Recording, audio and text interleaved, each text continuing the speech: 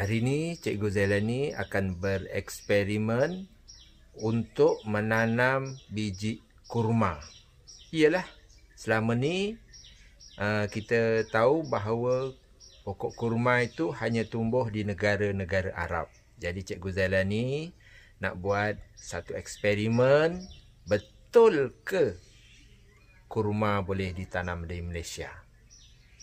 Ha, jadi kita akan lihat, kita akan tengok langkah-langkah kalau berjaya kalau boleh tumbuh maknanya betul di Malaysia boleh tanam pokok kurma macam di negara Arab.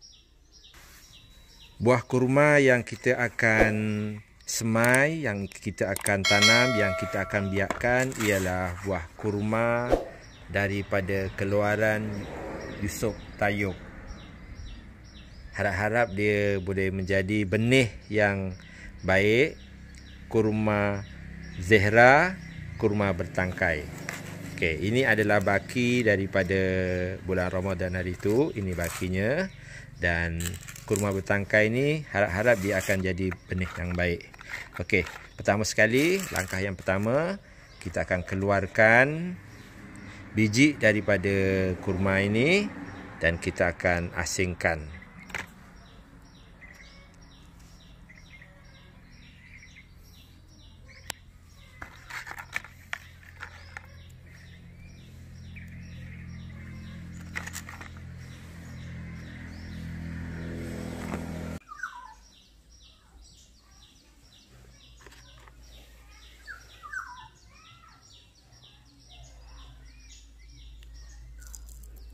Okey, kita asingkan. Keluarkan bijinya satu persatu. Okey, satu.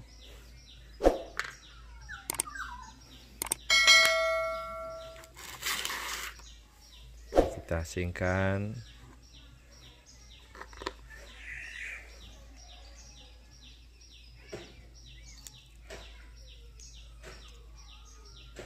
Ambil bijinya.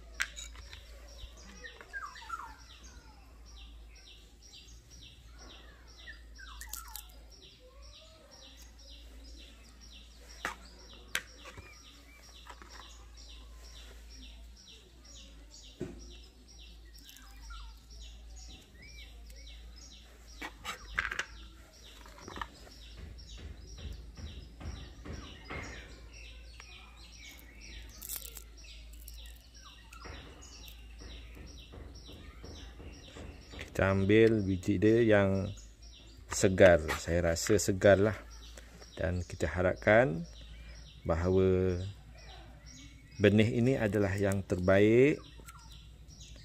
Dan kita akan lihat semoga dia akan menjadi akan bercambah. Dan kita boleh tanam di Malaysia.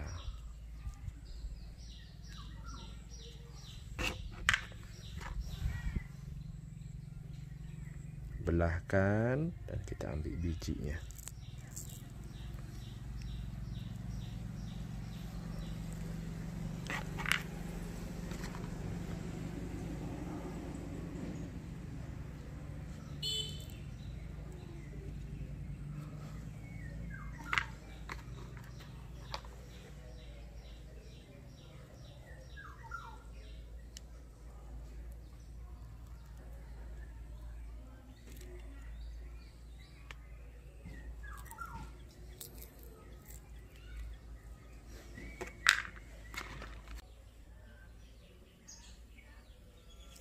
Biji kurma yang kita telah asingkan tadi.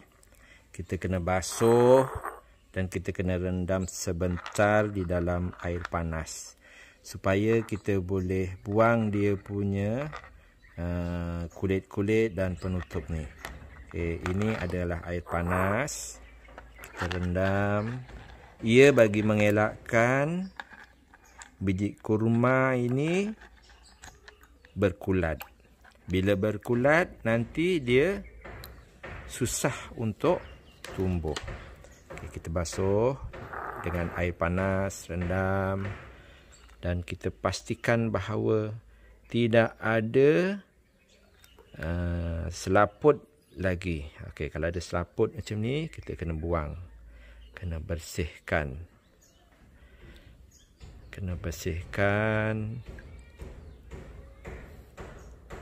kalau kita tak bersihkan dia akan tumbuh kulat bila tumbuh kulat kurma tidak akan bercambah okey selepas kita rendam dengan air panas selepas kita yakin bahawa dia dah bersih maka kita boleh masukkan ke dalam bekas untuk kita semai terlebih dahulu.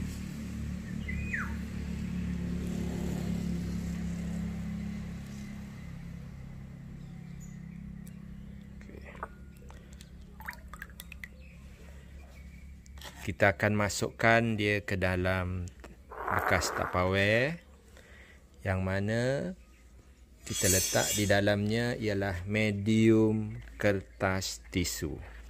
Medium kertas tisu.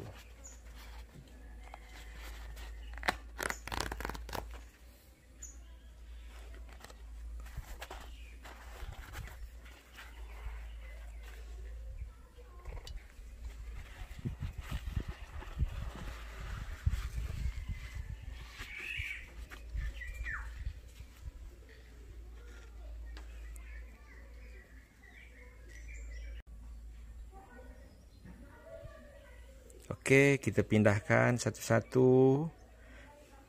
Satu. Dua. Kita letakkan dalam kedudukan yang mana yang ada lekuk tu di bahagian atas. Yang ada lekuk tu kita letakkan bahagian atas supaya akarnya nanti akan turun ke bawah.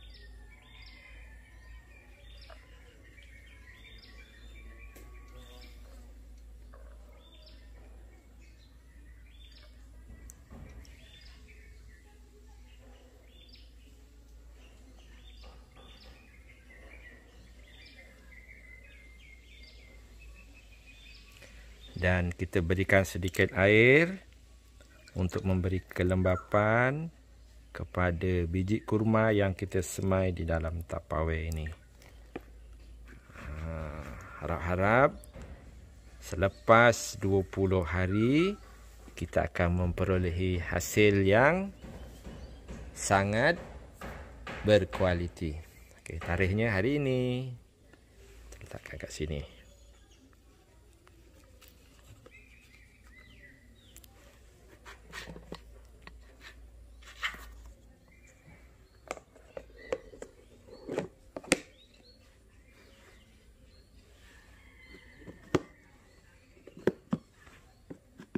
Okey, kita akan simpan dan kita akan tengok selepas 20 hari nanti macam mana.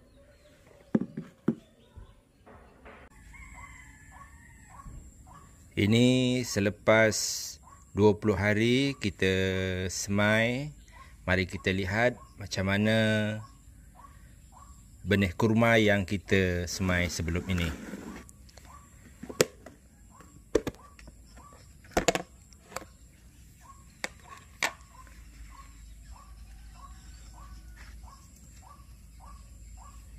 Wow, Alhamdulillah. Boleh dikatakan 100% 100% biji kurma yang kita semai Telah bercambah Dan kedudukannya uh, Sangat cantik. Dalam tempoh 20 hari Mari kita lihat Biji kurma yang telah bercambah. Uh, Kita lihat satu. Okey, inilah keadaan biji kurma yang mana akarnya keluar daripada bahagian atas. Hmm, bukan dia keluar daripada bahagian yang lekuk ni ha, nanti kita akan pindahkan satu-satu ke dalam polybag yang mana kita akan lihat macam mana hasilnya selepas kita pindahkan ke dalam polybag. Okay, ini yang paling kecil sekali. Selepas 20 hari ini yang paling kecil sekali. Boleh dikatakan benih kurma ini 100% bercambah.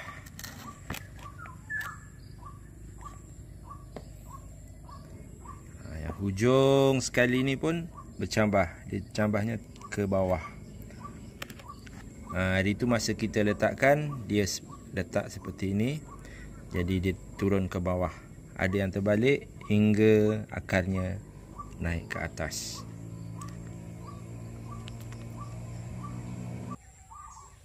Okey, seterusnya kita akan pindahkan biji kurma ni ke dalam polybag. Ha, kita akan ambil satu-satu, kita akan masukkan ke dalam polybag. Okey. Ha.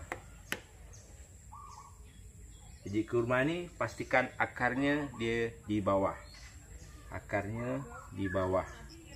Okey. Hari ni Cikgu Zailani akan menjadi cikgu pertanian mengajar untuk menanam kurma ke dalam polybag. Okey. Pertama, satu. Okey. Akarnya ke bawah. Dua.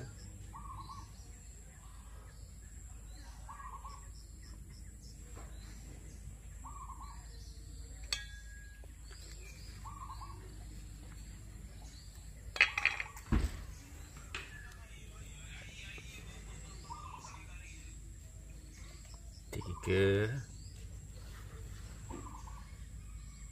ha, yang paling panjang sekali akarnya paling panjang. Okey. Kita akan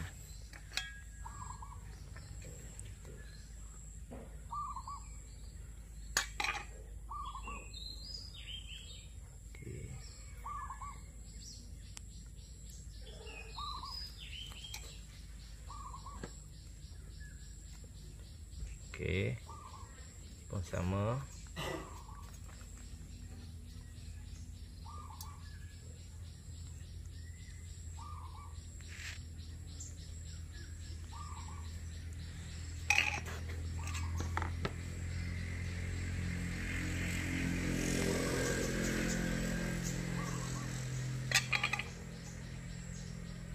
Macam ni kita masukkan akarnya di dalam tanah. Pastikan akarnya tu menghala ke tanah ke bawah. Okey sehinggalah selesai. Lepas tu kita akan berikan dia air. Uh, pokok kurma ni dia tak perlulah air banyak-banyak sebab dia merupakan tanaman di tempat yang kering. Jadi cukuplah sekadar uh, untuk memberikan kelembapan sedikit. Dan kita akan lihat selepas 2 bulan. Kita akan jumpa lagi dalam video seterusnya selepas 2 bulan. Apa yang akan terjadi? Macam mana cara uh, daun itu tumbuh dan macam mana keadaannya? Kita akan jumpa lagi selepas 2 bulan. Okay, bye